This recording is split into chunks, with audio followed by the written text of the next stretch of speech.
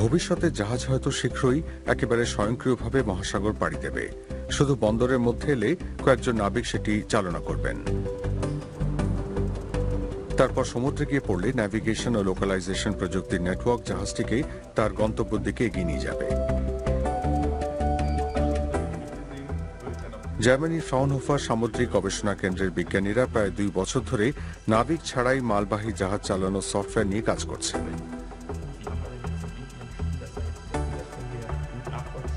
এমন অটোমেটিক জাহাজের সুবিধা কি? Zum einen natürlich bietet das Einsparen von প্রথমত কর্মীর প্রয়োজন না থাকায় অর্থ বাঁচছে অর্থাৎ অর্থনৈতিক সুবিধা পাওয়া যাচ্ছে।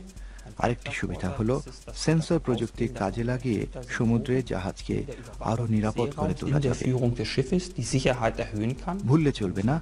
মানুষের ভুলের কারণেই সবচেয়ে বেশি জাহাজ দুর্ঘটনা ঘটে। তাছাড়া ধীর গতিতে চলা স্বয়ংক্রিয় জাহাজ পরিবেশ দূষণ কমাতেও সাহায্য করবে। কার্বন নির্গমন ও জ্বালানির ব্যবহার কমবে. প্রতিষ্ঠানের নিজস্ব সিমুলেটরে গবেষকরা তাদের সফটওয়্যার পরীক্ষা করে দেখছেন। সিমুলেশনের মাধ্যমে দ্রুত বোঝা গিয়েছিল যে নাবিক ছাড়া বন্দরের মধ্যে জাহাজ চলতে পারবে না। সেখানে জাহাজ চালানো অত্যন্ত জটিল কাজ। তাই ভবিষ্যতেও বন্দর ছেড়ে যাবার এবং ঢোকার সময় নাবিকরাই জাহাজ চালাবেন।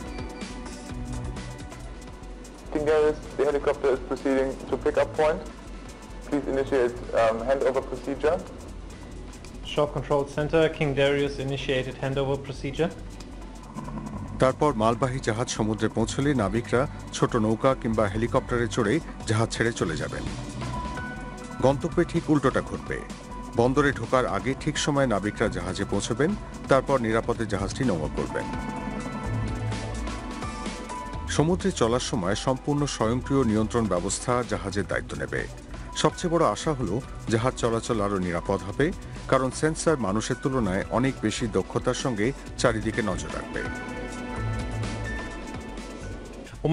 কোনো বাধা শনাক্ত করতে আমরা আগের মতোই রাডার ও অটোমেটিক আইডেন্টিফিকেশন সিস্টেম ব্যবহার করছি। সেই সঙ্গে জাহাজে সাধারণ ও ইনফ্রারেড ক্যামেরাও থাকছে। সব সিস্টেম একসঙ্গে কাজ করতে পারে।